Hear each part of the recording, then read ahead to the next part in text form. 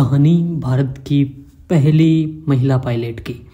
महिलाओं को आज़ादी और सपनों का साथ मिल जाए तो वह आसमान की ऊंचाइयों को नाप सकती है।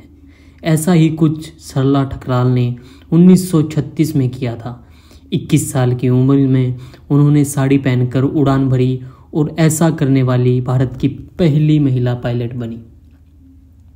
प्रणाम सभी को, मैं मोहन लेकर आया हूँ। एक और प्रेरणादायक कहानी।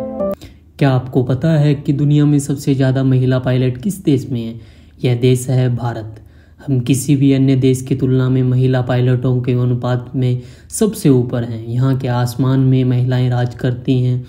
भारतीय विमान कंपनियों में करीब 12.4 प्रतिशत महिला पायलट हैं, जो विश्व औसत 5.4 प्रतिशत से काफ़ी अधिक है।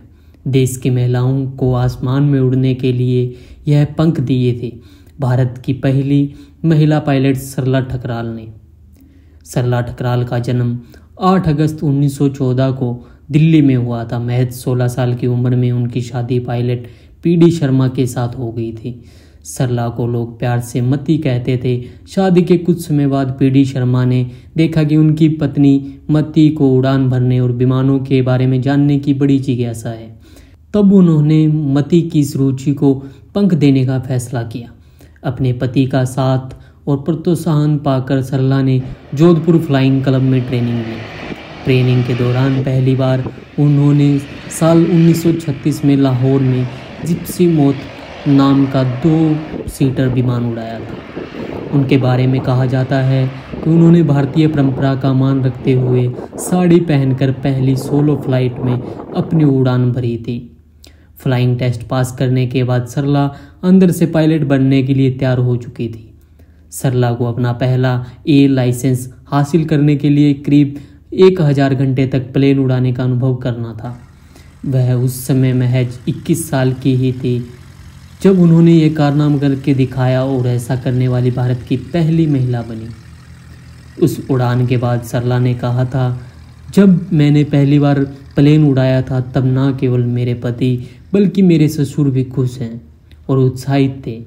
उन्होंने मुझे फ्लाइंग क्लब में दाखिला दिलाया। मुझे पता था कि मैं पुरुषों के इस कार्य में महिला होने के बावजूद डटी हुई हूँ।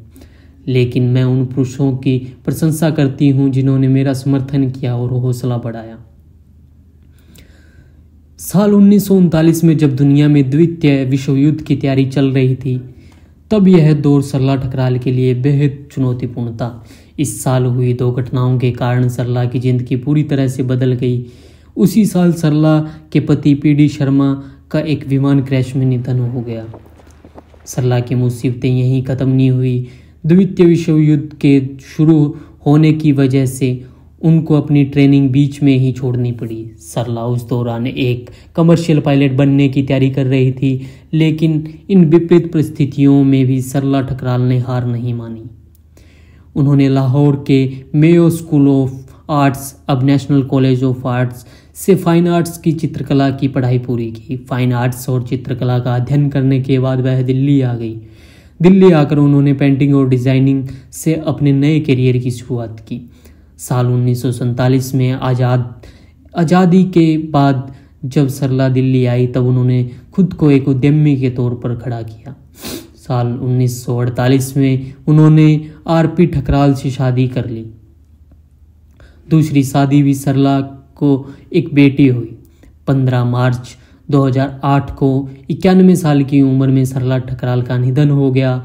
सरला ठकराल की उपलब्धियाँ भारतीय महिलाओं को प्रेरणा देने वाली हैं। उन्होंने यह साबित करके दिखाया कि सपनों को हकीकत में कैसे बदला जा सकता है। और उस समय की विचारधारा भी कुछ अलग थी महिलाओं के लिए, जो आज की विचारधारा से बिल्कुल भी मैच नहीं करती थी। उस कठिन परिस्थिति में भी सरला ने हार नहीं मानी।